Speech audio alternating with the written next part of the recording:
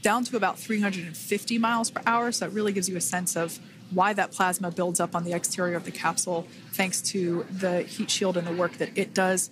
Those drogue parachutes will slow it down from 350 to about 119 miles per hour. We can see 15 kilometers. Brace for drogue window. We can see seat rotation happening inside the capsule. Great to get those first views of our crew members.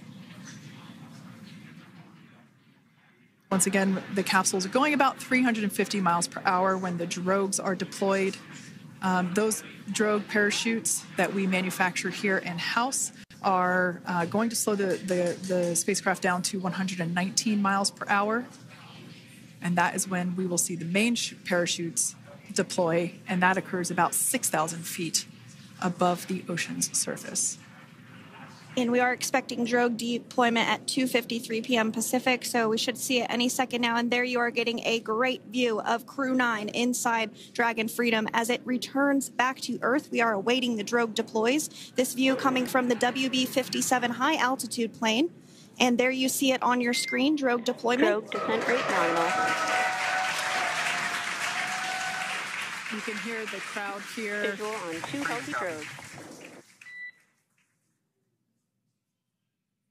Crowd here very excited as Dragon Freedom continues to make its way back to planet Earth.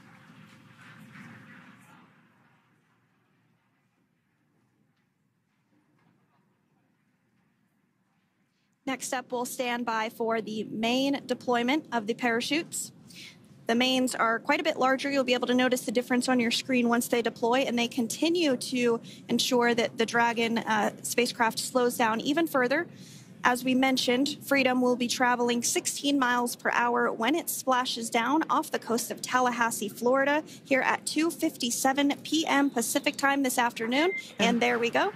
We have visual on four healthy mains. That view was from inside. Freedom copy. And That view was from inside one of the buckets where the parachutes are located. So we see a great view there of the reefing on those parachutes. And as those parachute, those main parachutes begin to inflate fully, four beautiful, healthy mains. Now awaiting visuals of splashdown. freedom. Thousand. We'll start to hear Commander Nick Hague Copy 1000. As we heard right there, Commander Nick Hague will be calling out the altitude of the Dragon capsule from here on out. Landing in water is simpler and provides more margin against unlikely parachute issues. You can see those uh, those parachutes continuing to slow the Dragon capsule down. And if you're just joining us, you're looking at 800 meters. a live view of Crew 9 just minutes away from splashing down off the f- coast of Tallahassee, Florida. Splash down two minutes from now at 2:57 p.m. Pacific. We do have four healthy mains really doing the job there. Just breathtaking views of a calm, glass-like ocean off the coast of Tallahassee, Florida. Crew 9 just minutes away from splashing down. This is really such an incredible shot. Uh, that Copy was 600. That was a live view from our recovery vessel, uh, Megan, which is stationed a couple miles away from the splashdown site. We can see the crew there using their uh, their restraints as resting places for their arms. They were just in space moments ago, so their arms were able to float freely. 400 meters. This is a gorgeous bluebird day here that we have for the splashdown of Crew 9. It's incredible to think that the Dragon capsule just minutes ago was going over 17,000 hun- 17,000 miles per hour and now gently coasting to a soft splashdown. Two hundred. Copy 200 meters. Brace for splashdown.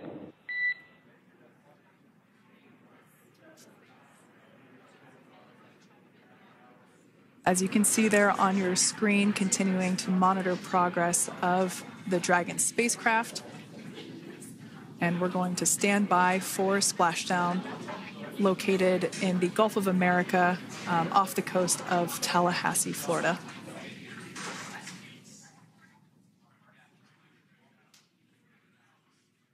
And splashdown. Crew 9 back on Earth.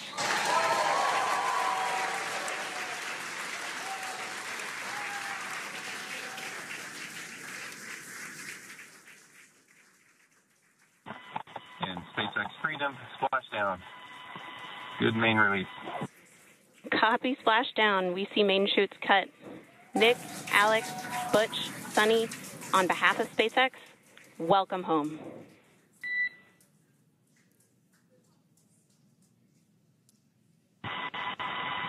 It is, uh, it is an amazing, what a ride. I see a capsule full of grins ear to ear.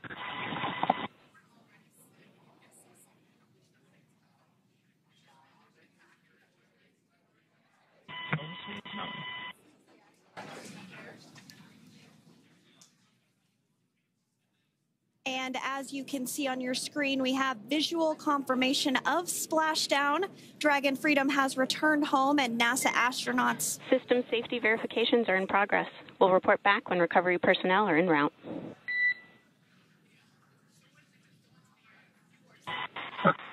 Uh, understand.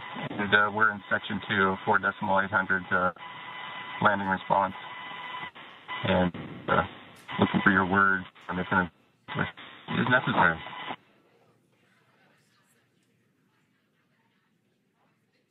In the distance, we can see the recovery vessel making its way. Copy, you're in section two for the environmental assessment in 4.800. That is not necessary today.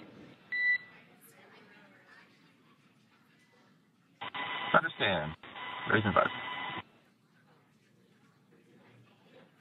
So we will continue to have communications between the Corps and Nick Hague, the commander of Crew Dragon Freedom, which just splashed down two minutes ago off the coast of Tallahassee, Florida. Dragon Freedom has returned home with NASA astronauts Nick Hague, Suni Williams, Butch Wilmore, and Roscosmos cosmonaut Alexander Gorbunov. They're back on Earth after approximately 17 hours of a return journey from space. The SpaceX recovery ship and team have been waiting for Dragon splashdown, and they will now make their way to the splashdown location. The teams have been ready and waiting about three nautical miles away, so it's going to take them about 30 minutes or so to make their way And to. SpaceX Freedom. Pretty sure we're in stable one.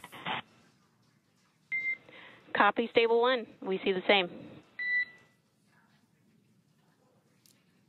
Going to take about 30 minutes for the recovery team to make their way over to Nick, Suni, Butch, and Alexander, who are still seated and secured inside that Dragon spacecraft there on your screen.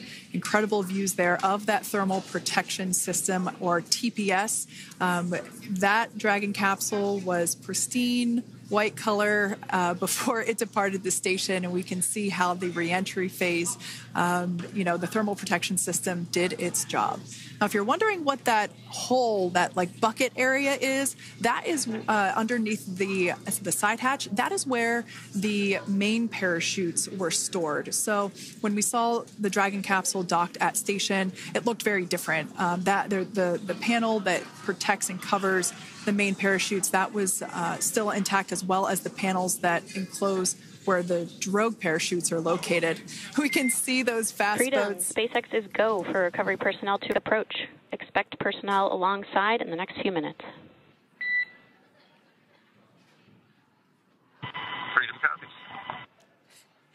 We can see those fast boats. We weren't kidding when we said they were fast. While it does take about 30 minutes for the main recovery vessel to make its way over to the capsule, these fast boats uh, will be doing a couple of things simultaneously. A couple of them are going to be working to retrieve the parachutes that you see in the background there of this drone shot. Those parachutes will be retrieved from the ocean surface. We want to make sure we um, we are able to pull those out. The recovery vessel there closest to the spacecraft is going to be performing some safety checks. We can see there they're using an instrument that is basically working to detect if there are any hypergolic vapors or fumes that are still residing in uh, and or around the Draco thruster nozzles or, or outlets. Uh, the hypergolic fuel, which is necessary for on orbit uh, on orbit burns to con- to maneuver the the spacecraft. Unfortunately, those hypergolics are um, are, are unable to be breathed. They, they are toxic. And so this team here is doing those initial safety checks to make sure that it is safe for the rest of the recovery team to approach the spacecraft. They're also checking to make sure that any residuals from the, the pyros are, are safe and um, are not going to cause any issues. We can see the team working their way around the spacecraft to do these um, event, basically these, these sniff tests on all of those Draco thrusters. And as we continue to await the recovery of our Dragon spacecraft with NASA astronauts Nick Hague, Suni Williams, Butch Wilmore, and Roscosmos cosmonaut Alexander Gorbunov inside, Dragon has continuously, uh, already rather, uh, autonomously completed several steps to safe itself following splashdown.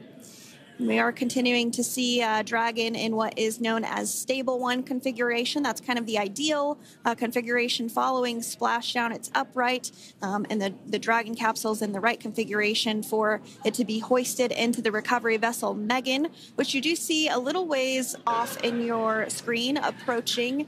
Dragon will continue to remain live on air with you through that recovery process, all the way through the point where uh, the crew is extracted from the Dragon spacecraft. Now, if you are just joining us, the mission has gone smoothly so far. Dragon successfully splashed down off the coast of Tallahassee, Florida at 2:57 p.m. Pacific, 5:57 p.m. Eastern Time this afternoon.